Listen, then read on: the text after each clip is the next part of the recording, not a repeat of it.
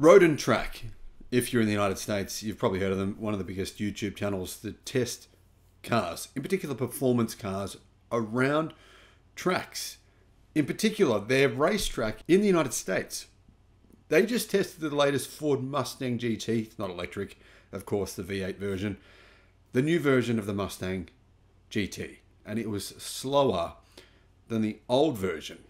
Now, everyone was going, what, what's going on here? Ford bring out a new Mustang V8 and it's slower than the old version. Doesn't make sense. Anyhow, this got me to thinking one thing. I wonder how electric cars go against the Ford Mustang GT around road and tracks test track. So I jumped on their YouTube channel and I thought, this is weird. I've never ever seen these guys test a Tesla or any other EV on their test track. Why have they never done this? Well, I don't know the answer to that question. So I had to do this. I had a look at Top Gear. Top Gear have tested electric cars around their racetrack. In fact, there's a Wikipedia page and an official website showing all the different cars that Top Gear have tested when they tested them and their performance times. And it shows, reveals one really, really interesting thing.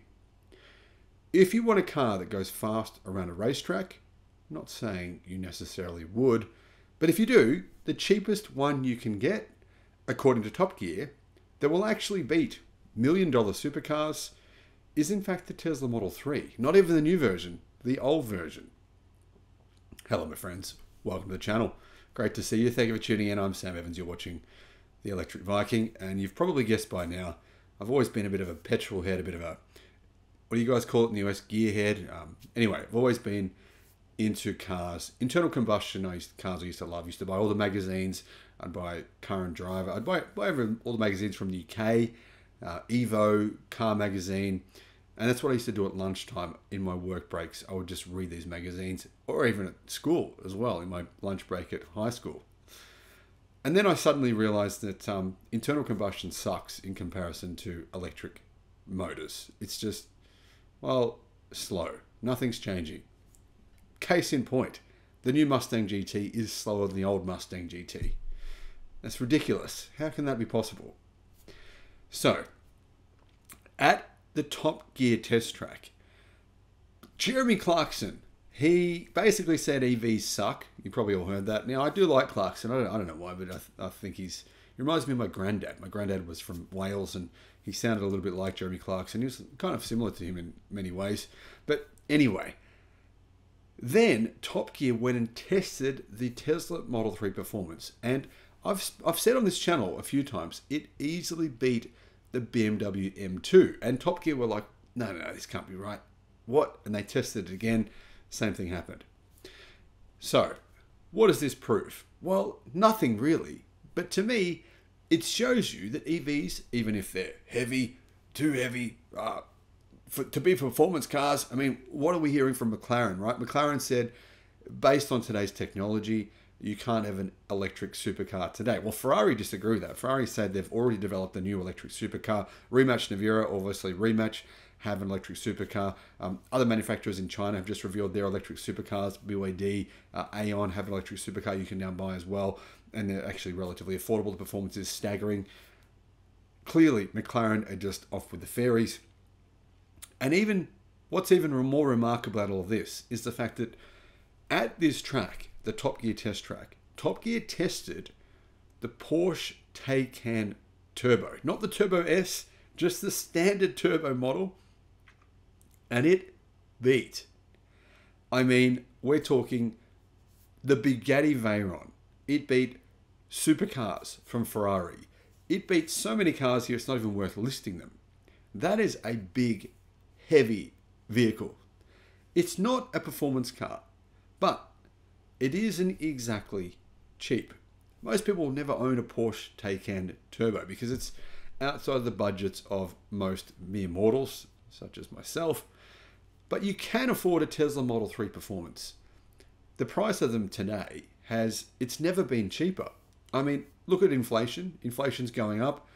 The price of the Model 3 Performance has come down. So have other cars that are similar to the Model 3 Performance.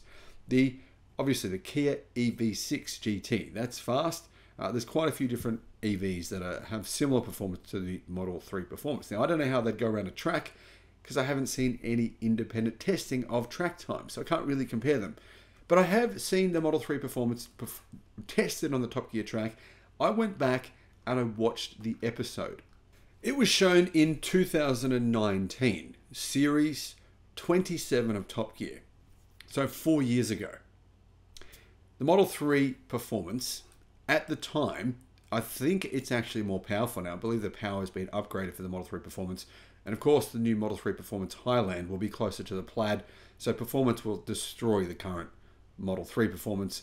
Of the new version, it's going to be way better. But anyway, based on the existing version that you can buy today, which has been around, like I said, since 2018, it did 1 minute 21.5 seconds. Now, to give you some context here, the Porsche 911 GT3 RS, the Porsche 911 GT3 RS, considered one of the kings of track racing, did 1 minute 21 seconds. That means the Model 3 performance was 0.5 of a second, 0.5 of a second slower than the GT3 RS. That's crazy. Next, the Ferrari 599 GTB Fiorano, right? That thing costs, I think, about 10 times more than the Model 3 performance. They did 122.22. Now, both of those times for the 911 GT3 RS and the GTB Fiorano were done in the dry. They weren't done in the wet. There's same testing conditions. I'm not. I'm comparing apples with apples here.